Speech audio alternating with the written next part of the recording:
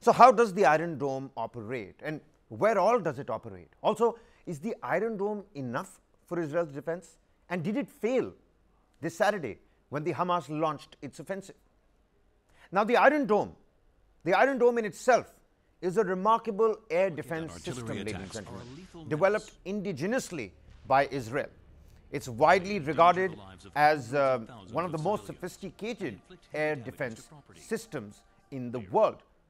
It's been designed to respond to short range rockets, primarily from Gaza and South Lebanon, providing protection against these threats. The Israel Defense Forces, the IDF, claim an impressive success rate of 85 to 90 percent, intercepting the majority of incoming threats. The Iron Dome comprises several key components, including launchers, interceptors, ground based multi mission radars, and a control system. The radar tracks incoming fire and intercepts it with the rockets.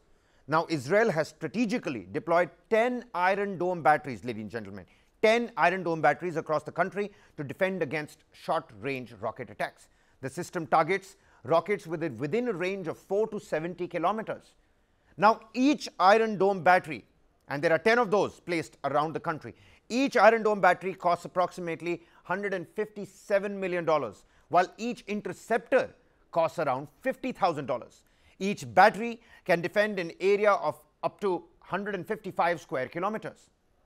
But even as we talk about the Iron Dome, let's explore the broader missile defense theater at Israel's disposal. Now, Israel's missile defense system theater has three parts, ladies and gentlemen. What you're taking a look at is the Iron Dome, how the Iron Dome intercepts. These are air defense, air defense systems. Apart from the Iron Dome, Israel has additional layers of missile defense. First one is the Iron Dome, of course.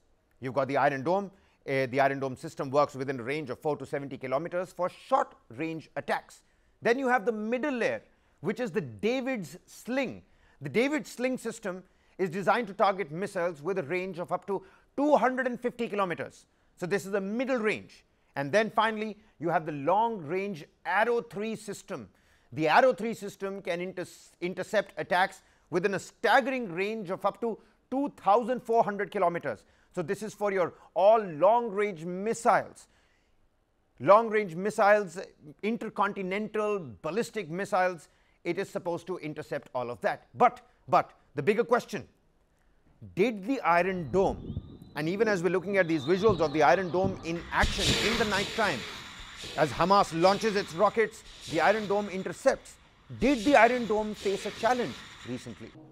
Well, indeed, despite its high success rate, there were moments of vulnerability. And finally, did the Iron Dome fail? Hamas rockets managed to hit some targets in Israel. Despite its success rate, Hamas rockets did manage to make landfall, exposing a momentary weakness